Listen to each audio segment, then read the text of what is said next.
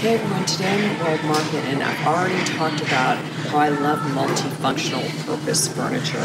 And this is really great because it's a storage ottoman.